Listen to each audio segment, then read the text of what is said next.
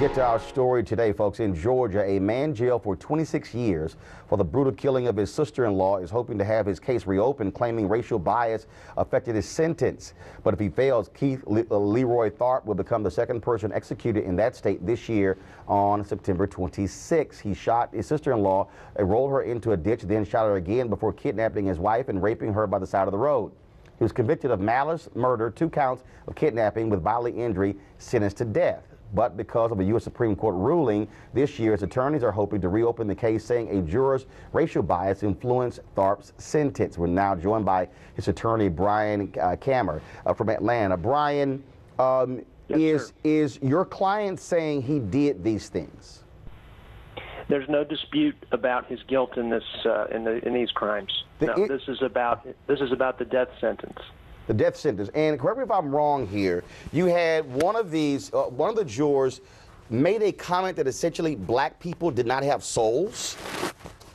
Uh, that's almost the least of what he said. Uh, he repeatedly he, he, he boasted that he you know uh, typically used racial epithets to describe African American people, and that if people didn't like that, that was tough. Uh, he divided. He, he he described the uh, the victim's family as, quote, nice black folks, but Keith Tharpe was, you know, uh, described by a race, racial epithet. Um, and that, that because of that, he deserved to be executed. Now, um, these comments were made where? In the jury room or after the trial? So they were made after the trial when when our office investigated the case. Typically, we will interview jurors about their experiences on the, you know, deliberating as to the facts and so forth.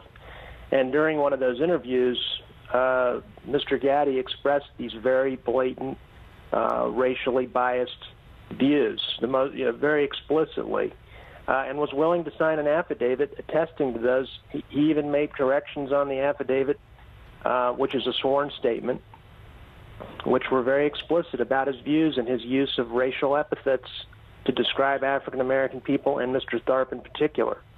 Uh, you know, he never, while the, the state came back at him and got, you know, an additional affidavit and there was testimony in court, uh, he never, you know, came back off of his views. Um, and the, the judge in, in our, this was a, a proceeding called habeas corpus, which is a common proceeding in capital cases. The judge refused to uh, look at the evidence because of a state law that says juror testimony that impeaches the verdict is inadmissible. So what we're doing is we're trying to uh, we're trying to use this recent U.S. Supreme Court case, which says those kinds of laws cannot um, prohibit courts from considering this kind of invidious racism on the part of jurors. Brian, I know somebody listening right now, they're saying, I don't have any sympathy for this guy. He is uh, a flat out killer. Uh, okay, and, my hands up. And, so, and say deserve to die. Uh, but, okay. but the issue, but the issue here, Brian, is that there are other cases where the racial bias of jurors comes into case comes into play. And if I'm correct, Georgia also didn't they also have a case that went to the Supreme Court where the prosecutors were systematically removing black jurors from death penalty cases to ensure uh, they would get uh, convictions? That's exactly right. In fact, the prosecutor you're talking about is the same prosecutor who prosecuted Mr. Tharpe, Joe Briley a notorious prosecutor in the uh, you know Ocmulgee Judicial Circuit here in Georgia, who was found by the Supreme Court to to have to have essentially systematically attempted to under underrepresent uh, African American people, women on juries uh, without uh, making it look like they were doing that. Uh, he he authored a, a memo to the jury commissioners uh, telling them how to do it without getting caught.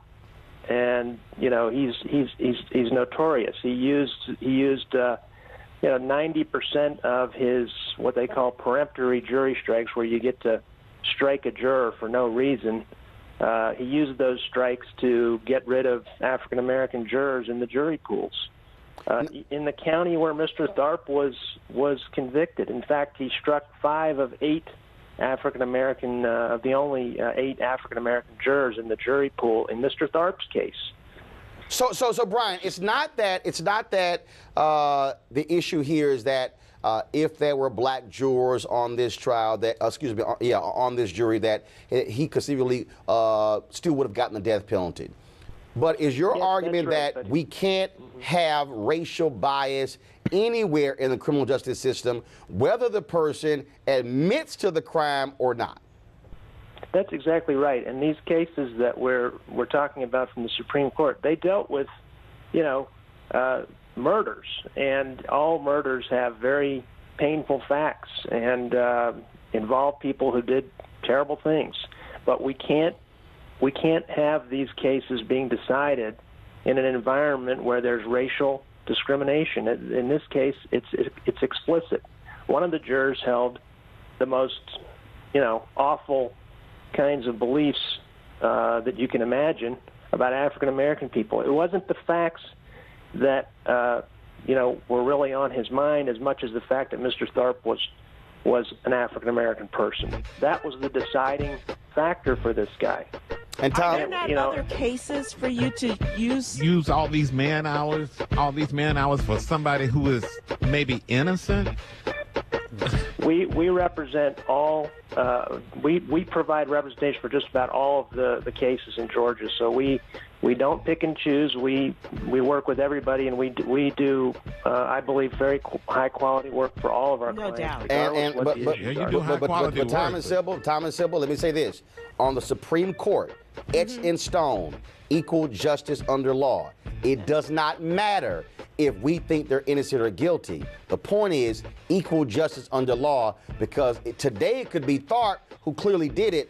Tomorrow it could be somebody who didn't do it and you still have racial bias on that jury. That's the issue. Saying, let's concentrate on the ones who didn't do it. No, but no, but, and, but, getting, and getting racial but Tom, bias. the reason the Supreme Court ruled is because it was in a case where the person was guilty and they said you can't use racial bias. So we can't just say only those who are innocent. That's why the Supreme Court ruled, as Brian said and you right. can't help everyone. You can't help everyone, but equal we justice try. under law. We try. But, and you're certainly making a statement here. Yeah. Weekdays on TV One. I will never lie to you. Oh my God.